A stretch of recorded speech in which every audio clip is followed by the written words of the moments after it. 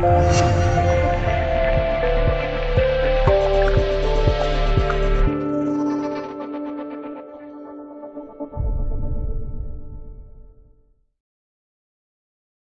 京时间八月十五日，中超联赛第十八轮全面展开争夺。在国安赢球的情况下，鲁能、上港和恒大都不容犯错。保级区大连输球，重庆、贵州、建业都全力抢分，保级局势或许再次发生变化。天津德比，泰达更有优势，权健想要赢球难度很大。先看下本轮对阵，在十四日结束的比赛中。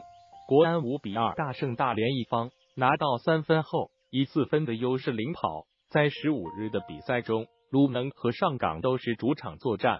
鲁能对阵华夏，本赛季之前两次交手，鲁能两次在客场击败对手。这场比赛的目标也是捍卫主场，拿到三分。华夏核心拉维奇有望复出，这给比赛增加了更多变数。鲁能必须要做好困难的准备。毕竟华夏的阵容配置不错，小心他们的反弹。上港主场对阵富力，在德比赢球的上港队紧追前两名。这场面对富力，上港的进攻依然是关键，只有在进攻端对富力形成压制，上港才能有更大的赢球可能。富力的防线本就不稳，上轮惨败大连就更是暴露球队的问题。在这样的情况下，上港主场赢球问题不大。这可能会是一场进球大战。恒大客场挑战建业，赛前卡纳瓦罗表态要重视对手，而且对于输给亚太的比赛还感到很气愤。恒大的人员相对齐整，卡纳瓦罗如何排兵布阵是个看点。阿兰和高拉特竞争首发的位置，保利尼奥和塔利斯卡的位置稳固。建业为了保级而战，他们的反击效率决定能否从恒大身上抢分。整体上看，恒大实力更占优势，赢球概率大。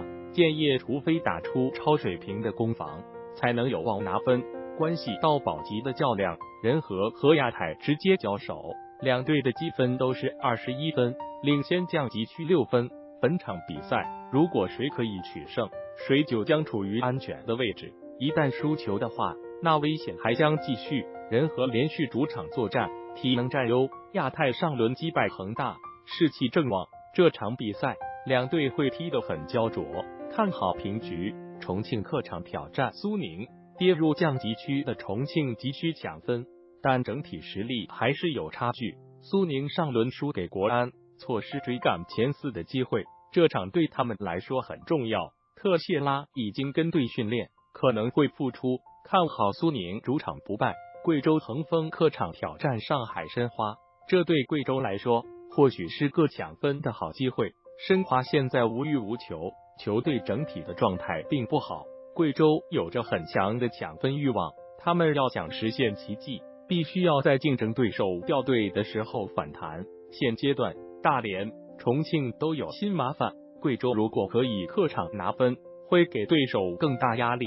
这场比赛看好贵州客场抢分。天津德比对决，泰达和权健的又一次交手。如今积分榜上，泰达已经超过权健，排名第六的位置，距离前五也只有四分的差距。权健缺兵少将，外援的问题显著。泰达势头正猛，力争取得三连胜。阿奇姆彭和乔纳森是两把利器，他们会给权健防线带来更大的威胁。本场比赛看好泰达客场不败。